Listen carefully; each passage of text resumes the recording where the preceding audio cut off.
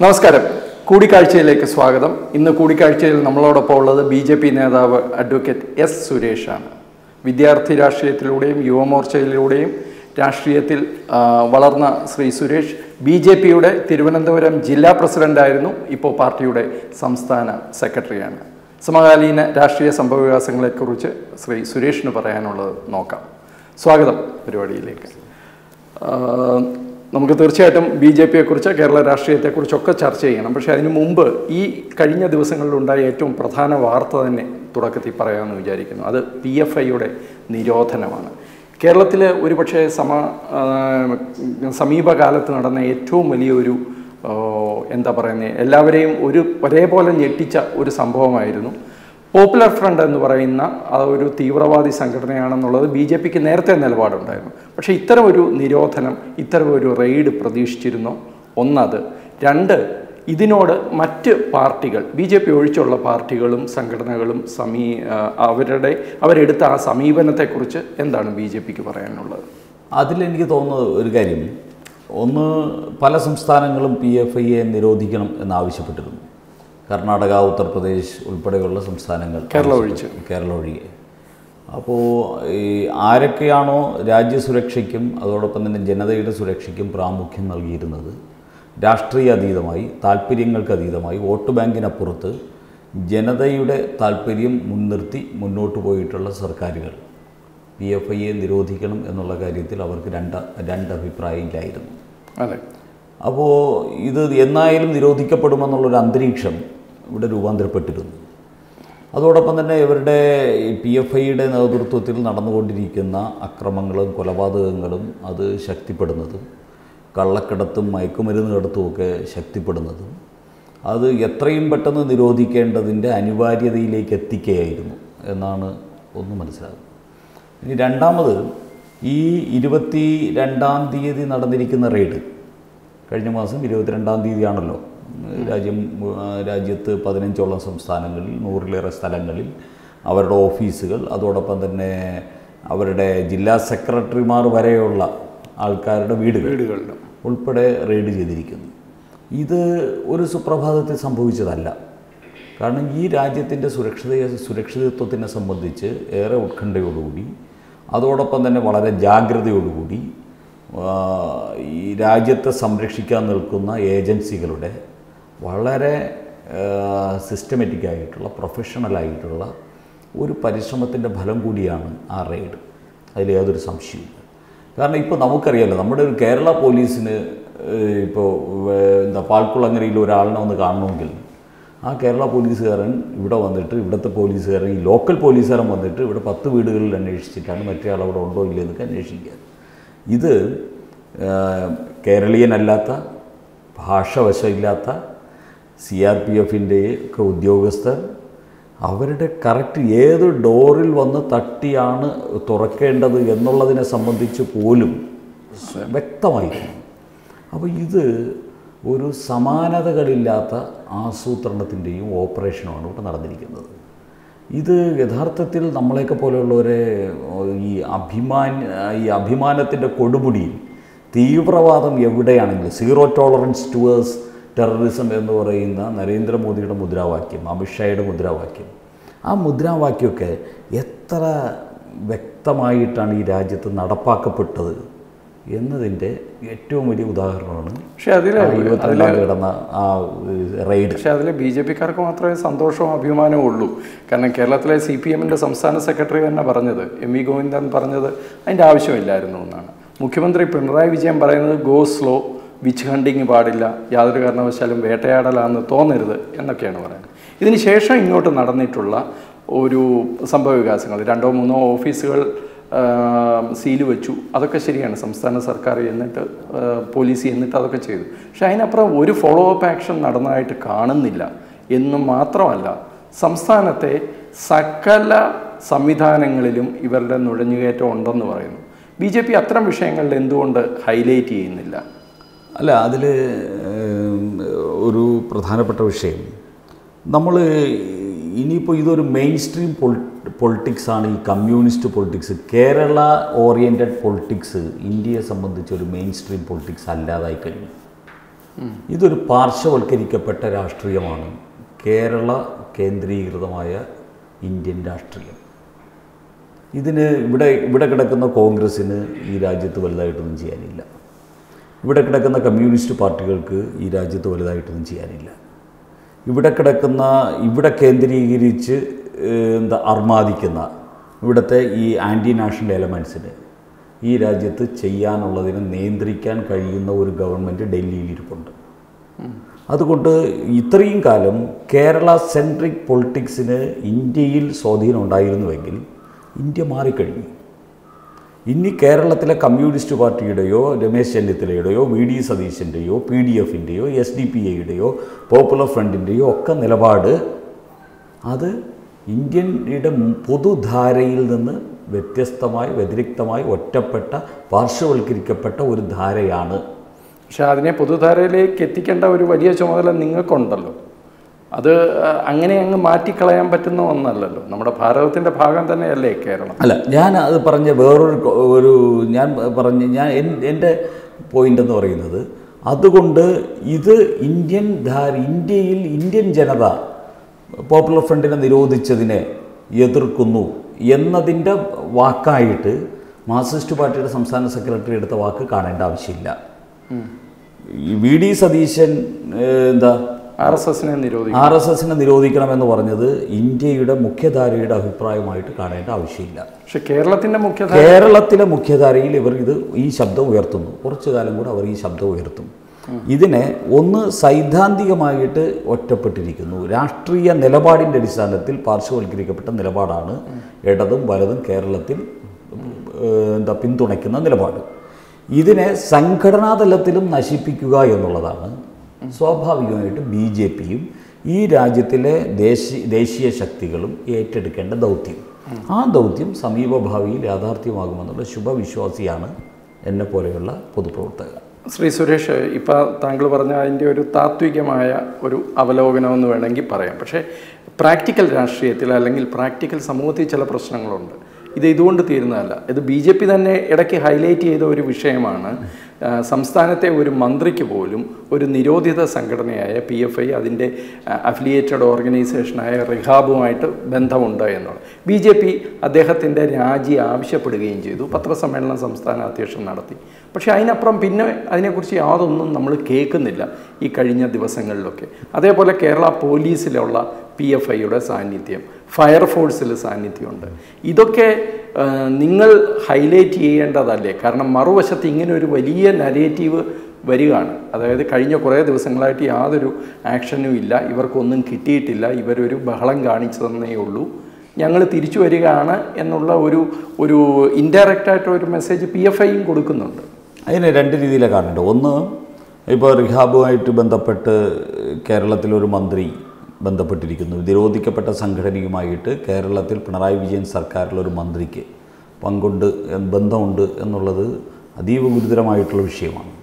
അതുപോലെ തന്നെയാണ് ആസാദ് കാശ്മീർ അതോടൊപ്പം തന്നെ ഇന്ത്യ അധിനിവേശ കാശ്മീർ എന്ന പദപ്രയോഗം പാകിസ്ഥാൻകാരൻ നടത്തുന്ന പദപ്രയോഗം നടത്തിയ കേരളത്തിലെ ഇടതുപക്ഷ എം എൽ എയും അതോടൊപ്പം തന്നെ മുൻ മന്ത്രിയുമായിട്ടുള്ള കെ ടി ജലീലിന്റെ പരാമർശം. അതും ഇതേപോലെ ഗൗരവമുള്ളത് തന്നെയാണ്. ഇതിനിടയിലാണ് പോലീസുകാർ തൊടുപുഴയിൽ ഒരു പോലീസുകാരൻ ആർ എസ് എസ് പ്രവർത്തകരുടെ ലിസ്റ്റ് പോപ്പുലർ ഫ്രണ്ടുകാർക്ക് രഹസ്യമായി പോലീസിന്റെ ഡാറ്റാ ബാങ്ക് ചോർത്തി പോലീ എന്താ പോപ്പുലർ ഫ്രണ്ടുകാർക്ക് കൊടുത്തിട്ട് അവരെ കൊലപാതകത്തിലേക്ക് പറഞ്ഞ് അതിനുവേണ്ടിയുള്ള എന്താ സഹായം ചെയ്തു കൊടുത്തിരിക്കുന്ന വിഷയം. കോട്ടയത്ത് ഒരു വനിതാ പോലീസുകാരി പോപ്പുലർ ഫ്രണ്ടിന്റെ എന്താ സോഷ്യൽ മീഡിയ വഴി പോപ്പുലർ ഫ്രണ്ടിന്റെ പ്രചരണം നടത്തിക്കൊണ്ടിരിക്കുന്ന സാഹചര്യം. അതോടൊപ്പം തന്നെ അങ്ങ് നേരത്തെ സൂചിപ്പിച്ചതുപോലെ ആലുവയിൽ ഫയർഫോഴ്സിന്റെ ആസ്ഥാനത്ത് പോപ്പുലർ ഫ്രണ്ടുകാർക്ക് റെസ്ക്യൂ ഓപ്പറേഷൻസ് നടത്തുന്നതിനെ സംബന്ധിച്ചുള്ള ട്രെയിനിങ് കൊടുക്കുന്ന സംസ്ഥാന സർക്കാരിന്റെ എന്താ district fire officer district fire fire ഓഫീസിൽ അതിനുവേണ്ടിയുള്ള സംവിധാനം കൊടുക്കുന്നു. അപ്പോൾ ഇത് മുഴുവൻ നമ്മൾ ഒരുമിച്ച് വായിക്കേണ്ടത് സംഭവമാണ്. കാരണം കെ ടി ജലീലാണെങ്കിലും അതോടൊപ്പം തന്നെ ഇന്ന് നിലവിലുള്ള തുറമുഖ വകുപ്പ് മന്ത്രിയാണെങ്കിലും അതോടൊപ്പം തന്നെ ഈ പോലീസുകാരിയും പോലീസുകാരനും ഈ ഫയർഫോഴ്സും ഒക്കെയാണെങ്കിലും ഇത് ഇവിടുത്തെ രാഷ്ട്രീയവും ഭരണകൂടവും ഒരുമിച്ച് ചേർന്ന് തീവ്രവാദികളെ സംരക്ഷിക്കുന്ന സമീപനത്തിന്റെ ഏറ്റവും വ്യക്തമായിട്ടുള്ള ഒരു ഉദാഹരണമാണ്. ഒരു വശം കൂടെ ഞാൻ പറയാൻ ആഗ്രഹിക്കുന്നു. ഇപ്പോൾ പാനായിക്കുളം ഭീകരവാദ ക്യാമ്പ്. അതോടൊപ്പം തന്നെ കനകമല. കനകമല ഭീകരവാദ ക്യാമ്പ്. ഈവൻ മദനി. ഈ ഈ ഭീകരവാദ ക്യാമ്പുകൾ ഒന്നും ഭീകരവാദ ക്യാമ്പുകൾ ക്യാമ്പുകൾ കണ്ടെത്തുകയോ അവിടെ പങ്കെടുത്ത ആൾക്കാരെ അറസ്റ്റ് ചെയ്യുകയോ ചെയ്തിരിക്കുന്നത് കേരള പോലീസല്ല. മദനിയെ അറസ്റ്റ് ചെയ്തത് കേരള പോലീസല്ല. അത് നിർണായകമായ ഭീകരവാദ കേന്ദ്രങ്ങൾ ഏതെങ്കിലും റെയ്ഡ് ചെയ്യുകയോ ഏതെങ്കിലും ഭീകരവാദിയെ അറസ്റ്റ് ചെയ്യുകയോ അവരെ നിയമത്തിന്റെ മുമ്പിൽ കൊണ്ടുവരികയോ ചെയ്യുന്ന സമീപനം കേരളത്തിൽ യു ഡി എഫ് ആണെങ്കിലും എൽ ഡി എഫ് ആണെങ്കിലും ഒരു സർക്കാരും ചെയ്തിട്ടില്ല എന്നുള്ളത് ഒരു യാഥാർത്ഥ്യമാണ്. ഇതും നമ്മുടെ മുമ്പിലുണ്ട്. മൂന്നാമത്തെ പോയിന്റ് മാറാട് കൂട്ടക്കുരുതി നമുക്കറിയാം. മാറാട് കൂട്ടക്കുരുതിയിൽ ആ എന്താ ഹിന്ദുക്കളായിട്ടുള്ള അരേ വിഭാഗത്തിൽപ്പെട്ട ഹിന്ദുക്കളെ അരുംകൊല ചെയ്ത ആ ഭീകരത ആ ഭീകരതയുടെ പ്രതിപ്പട്ടിക പുറത്തു വന്നപ്പോൾ അത് എൻ ഡി എഫുകാർ മാത്രമല്ല. സി പി എമ്മിന്റെ മുപ്പത്തിമൂന്ന് പേർ മുപ്പത്തിമൂന്ന് സി പി എം സഖാക്കന്മാരായിട്ടുള്ള എൻ ഡി എഫുകാരും ഉൾപ്പെടെയുള്ള അവർ സി പി എം സഖാക്കന്മാരും കൂടിയാണ്. അവരതിലെ പ്രതിയാണ്. കോൺഗ്രസ്സുകാർ പ്രതിയാണ്. മുസ്ലിം ലീഗുകാർ പ്രതിയാണ്. എൻ ഡി എഫുകാർ പ്രതിയാണ്. അപ്പോൾ ഇവിടെ എല്ലായിടത്തും പ്രതികളെ സംരക്ഷിക്കുന്ന കാര്യത്തിൽ കൂട്ട് കൂട്ടിന് കൊലപാതകത്തിന് പോകുന്ന കാര്യത്തിൽ അതോടൊപ്പം തന്നെ ഇതിന് ആദർശപരമായിട്ടുള്ള പരിവേഷം ഉണ്ടാക്കി കൊടുക്കുന്ന കാര്യത്തിൽ. ഒക്കെ ഇവിടുത്തെ എൽ ഡി എഫും യു ഡി എഫും ഭരണകൂടവും എക്കാലത്തും തീവ്രവാദികൾക്കും ഭീകരവാദികൾക്കും അനുകൂലമായിട്ടുള്ള നിലപാടാണ് എടുത്തിരുന്നത് എന്നുള്ളത് ഈ ലാസ്റ്റ് ഇൻസിഡന്റിൽ മാത്രമല്ല കേരളത്തിന്റെ ചരിത്രത്തിലൂടെ നമ്മൾ പോകുന്ന സമയത്ത് നമുക്ക് കാണാൻ സാധിക്കും. ഇതിനെതിരായിട്ടുള്ള നിരന്തരമായിട്ടുള്ള പോരാട്ടമാണ് ബി ജെ പിയും ഇവിടുത്തെ ദേശീയ പ്രസ്ഥാനങ്ങൾ നടത്തുന്നത്? നമ്മുടെ ഇപ്പോൾ എത്ര പ്രവർത്തകരാണ് മരണപ്പെട്ടിരിക്കുന്നത്? എത്ര പ്രവർത്തകരാണ് ഈ പോരാട്ടത്തിൽ വീര ബലിദാനികളായിട്ട് മാറിക്കഴിഞ്ഞിരിക്കുന്നത്? നമ്മളുടെ പ്രസ്ഥാനത്തിന് ഈ ഇപ്പോൾ ഇപ്പോഴും ഈ രാജ്യദ്രോഹികളായിട്ടുള്ള സംഘടനകളെ നിരോധിക്കുന്ന സമയത്ത് യു ഡി എഫിനെയും എൽ ഡി എഫിനെയും കൂട്ടുപിടിച്ചുകൊണ്ട് അവർ പറയുന്നത് എന്താണ്? ആർ എസ് എസിനെ തോൽപ്പിക്കാനാണ് ആർ എസ് എസിനെ നശിപ്പിക്കാനാണ്. ആർ എസ് എസിനെ നശിപ്പിക്കാനെന്ന് പറയുമ്പോൾ കോൺഗ്രസും സി പി എമ്മും അവരോടൊപ്പം അവരുടെ പാളയത്തിൽ ചെന്ന് കയറി കൊടുക്കേണ്ടത് യഥാർത്ഥത്തിൽ ആർ എസ് എസ് ആണോ ഇവിടുത്തെ ഇസ്ലാമിക തീവ്രവാദത്തിന്റെ പ്രശ്നം? ഇസ്ലാമിക തീവ്രവാദം ഏറ്റവും കൂടുതൽ ലോകത്ത് നടക്കുന്നത് ഇസ്ലാമിക രാജ്യങ്ങളിലാണ്. ഒരു ആർ എസ് എസ്കാരുള്ളിടത്തുമല്ല സിറിയയും ഈജിപ്റ്റും ഒന്നും ആർ എസ് എസ്കാരുള്ളതല്ല ലോകത്ത് ഏറ്റവും കൂടുതൽ ഇസ്ലാമിക ഭീകരവാദം സംഭവിച്ചിരിക്കുന്നത് ഇസ്ലാമിക രാജ്യങ്ങളിലാണ്. ഇസ്ലാമിക ഭീകരവാദത്തിന്റെ പേരിൽ ഏറ്റവും കൂടുതൽ ആൾക്കാർ മരണപ്പെട്ടിരിക്കുന്നത് ഇസ്ലാമിക രാജ്യങ്ങളിലാണ്. ഇസ്ലാമാണ് ഇസ്ലാമിക ഭീകരതയുടെ ഏറ്റവും ഭീകരമായ ഇര. എന്നുള്ള യാഥാർത്ഥ്യം ലോകത്തിന്റെ മുമ്പ് നിൽക്കുമ്പോൾ ഇവിടെ ആർ എസ് എസിനെ എന്ന ഉമ്മാക്കി കാണിച്ചിട്ട് ഇവിടെ മാനവീയതയ്ക്കെതിരായി രാജ്യത്തിനെതിരായി രാജ്യത്തിന്റെ അഖണ്ഡതയ്ക്കെതിരായിട്ടുള്ള ഈ പോരാട്ടം നടത്തുന്നവരെ താലോലിക്കാനും സംരക്ഷിക്കാനും പാലൂട്ടാനും ശ്രമിക്കുന്ന നൈതികമായ രീതിയിൽ പ്രവർത്തിക്കുന്നു എന്ന് പറയുന്ന രാഷ്ട്രീയ പാർട്ടികളാണ് ഏറ്റവും വലിയ രാജ്യദ്രോഹികൾ ശ്രീ സുരേഷ് ഇതെല്ലാം പറയുമ്പോഴും എസ് ഡി പി ഐ എന്ന് പറയുന്ന രാഷ്ട്രീയ പ്രസ്ഥാനത്തെ നിരോധിക്കാതിരിക്കുന്നത് ഒരു തെറ്റായ കാര്യമല്ല? ഇത്ര വലിയ ഒരു പങ്ക് ഇതിനകത്തുണ്ടെങ്കിൽ എസ് ഡി പി ഐ എന്ന് പറയുന്ന രാഷ്ട്രീയ പ്രസ്ഥാനത്തെ നിരോധിച്ചിട്ടില്ല കേന്ദ്ര സർക്കാർ എന്ന് മാത്രമല്ല ആ സംഘടന ഇപ്പോൾ പുതിയ ലഹരി വിരുദ്ധ ക്യാമ്പയിൻ മെമ്പർഷിപ്പ് ക്യാമ്പയിൻ എന്നൊക്കെ പറഞ്ഞ് കൂടുതൽ സജീവമാവുന്ന കാഴ്ചയാണ് കാണുന്നത്. മറുവശത്ത് ഇതിനൊരു ആന്റി ഡോസ് കാര്യമായിട്ട് കൊടുക്കുന്നതായിട്ട് പൊതുസമൂഹത്തിൽ നോക്കുമ്പോൾ നമ്മളാരും കാണുന്നുമില്ല. ഇങ്ങനല്ല എന്ന് ശക്തമായി പറയാൻ എന്തുകൊണ്ട് സാധിക്കുന്നില്ല. അത് കേരളത്തിന്റെ ഒരു പ്രത്യേക പരിസ്ഥിതി കാരണമാണോ?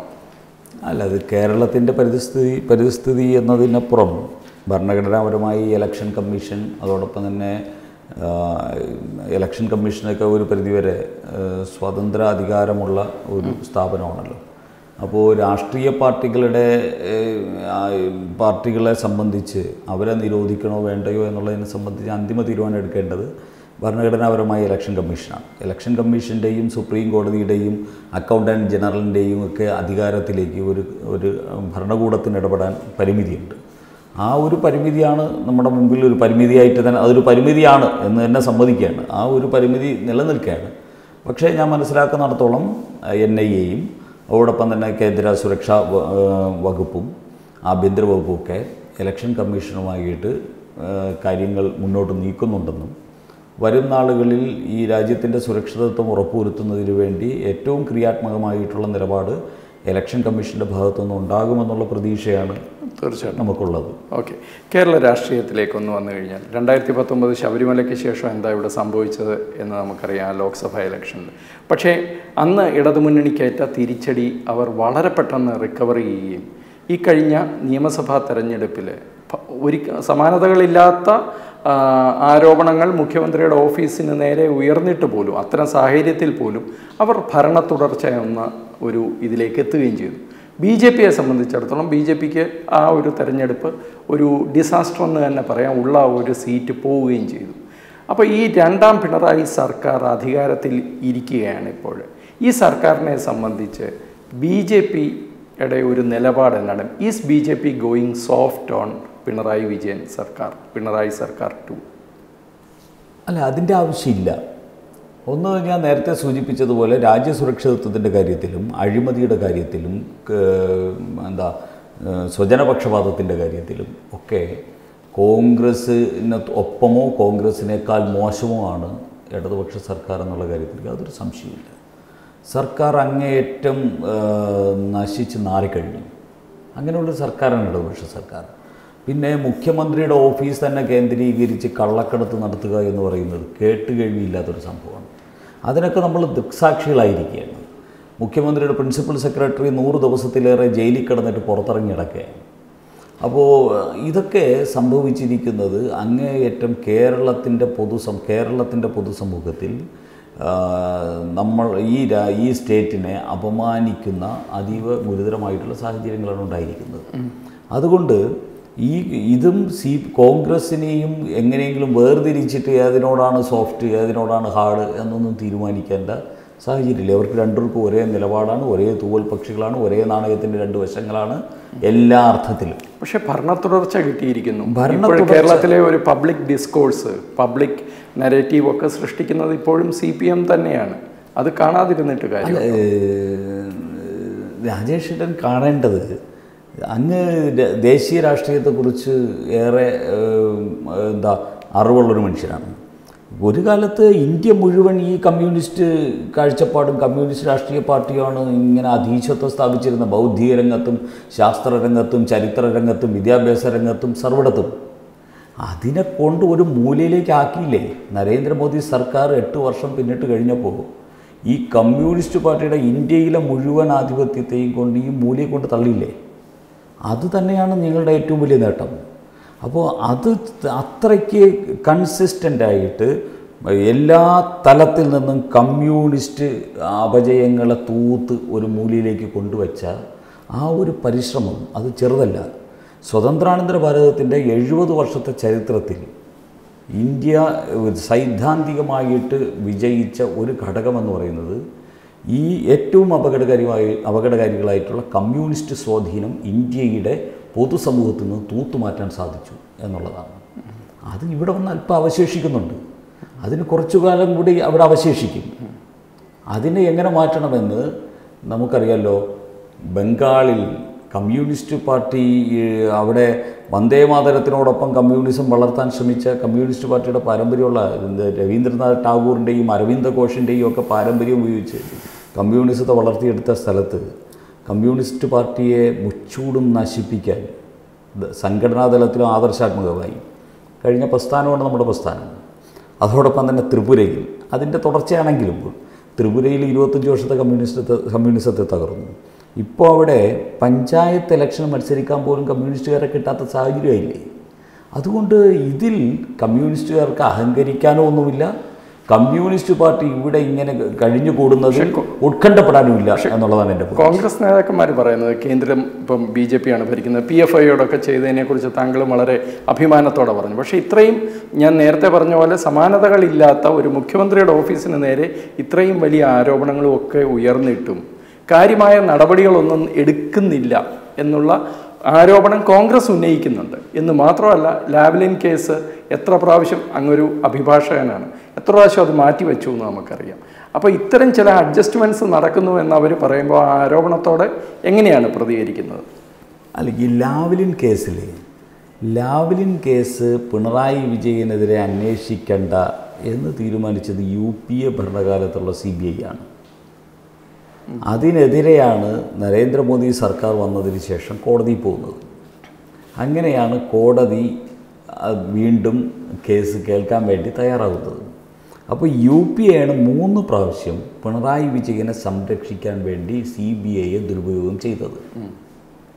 ഇനി സി ബി ഐക്ക് വിട്ടതുപോലും എലക്ഷൻ നോട്ടിഫിക്കേഷൻ വന്ന ദിവസമാണ് ഉമ്മൻചാണ്ടി സി ബി ഐക്ക് വിട്ടത്. അതെ. അതുവരെ പിണറായി വിജയനെ ഈ സംസ്ഥാന സർക്കാരിനകത്തിട്ടിനെ സംരക്ഷിക്കുന്ന ഒരു അഭ്യാസമാണ് നടത്തിക്കൊണ്ടിരുന്നത്. ഉമ്മൻചാണ്ടി ഏഹ് നമ്മുടെ കുഞ്ഞാലിക്കുട്ടിയും പിണറായി വിജയനും കോടിയേരി ബാലകൃഷ്ണനും എല്ലാവരുമായിട്ടുള്ള ഒരു കോക്കസ്. ഈ ഇപ്പോഴത്തെ ഈ എന്താ നാഷണൽ ഈ ആന്റി നാഷണൽ എലമെൻസും അതിനകത്തുണ്ട്.